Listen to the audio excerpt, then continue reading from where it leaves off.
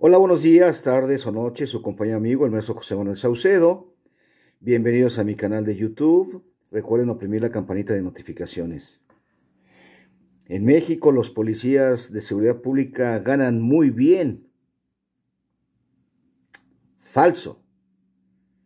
Lo cierto es que en ciudades como la Ciudad de México tienen muy bajo sueldo hay quien gana 7 mil pesos mensuales. Yo en mi oficina de Barrientos, en Tlanepantla, Estado de México, pago de renta 10 mil. Indiscutiblemente ganan poco. Y por razones que se desconocen. ¿Por qué los gobiernos no han puesto atención en eso? ¿Por qué el gobierno federal prefiere invertir el dinero en otras cosas? Claro, para llegarse simpatizantes, votantes. Miren ustedes, me encuentro en Salt Lake City, Utah. Acabo de regresar de San Francisco. Fui MP federal también y estuve comisionado a la agregaduría regional de la PGR en Los Ángeles. En el 94 tuve oportunidad de platicar con detectives, con policías del condado de Orange, de la Policía de Los Ángeles. Fui dos veces al FBI en Washington, una en el 94, otra en el 96. Entonces platicamos también con agentes del FBI, de la DEA, etc. En aquel entonces nos decían que ganaban 6 mil dólares mensuales. Son 70 mil dólares al año. Aquí me acabo de meter a una, al Google preguntando cuánto gana un policía en Utah porque vi que alguien estaba haciendo una revisión a un transeúnte y me vino a la mente, ¿no?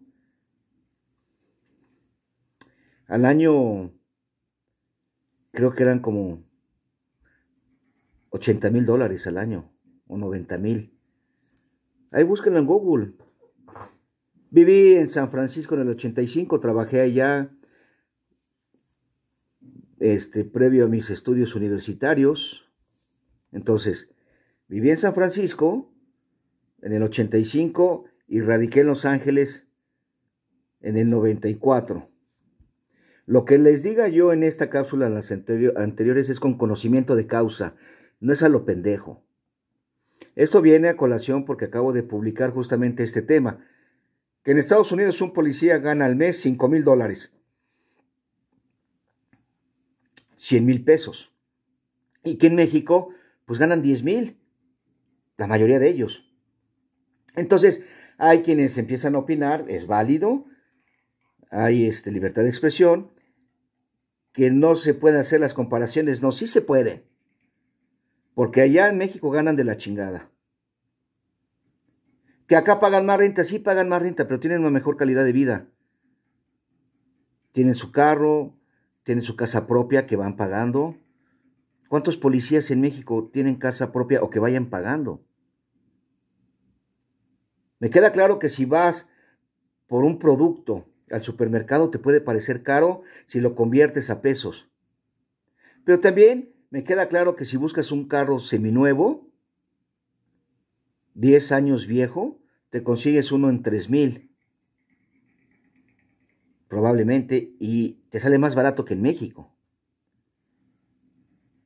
Si no fuera mejor en ese sentido, Estados Unidos, pues no se vendrían la gente para acá, independientemente de que encuentren o no trabajo en México.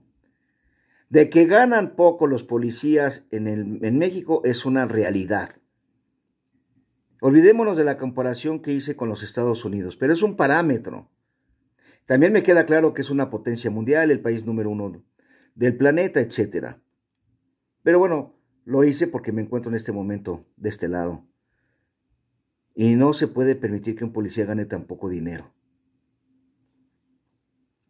¿Que hay corrupción en Estados Unidos? Sí, sí hay corrupción en todas partes. Nada más que a otro nivel, yo creo.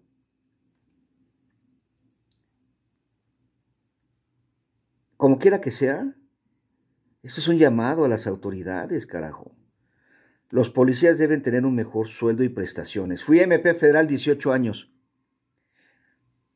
Hay un servicio civil de carrera. ¿Por qué no implementar la posibilidad de adquirir una casa? De ir ascendiendo, que nada más está en el papel. Yo sí logré un ascenso en el 2008 de MP federal titular a fiscal supervisor mixto, pero las convocatorias son muy escasas. Ponerle más atención a los servidores públicos de seguridad pública y procuración de justicia, porque los federales de la administración de justicia están bien. Un defensor público ha de ganar 60 mil pesos al mes por lo menos, más que el MP, en muchos de los casos. Y con la reforma a la Constitución diría que tienen que estar a la par los sueldos entre MP y defensor público. Pero bueno, ese no es el tema de ahorita. El tema de ahorita son los policías y la urgencia de pagarles un mejor sueldo. No pueden vivir con 10 mil pesos mensuales. ¿Ustedes qué opinan?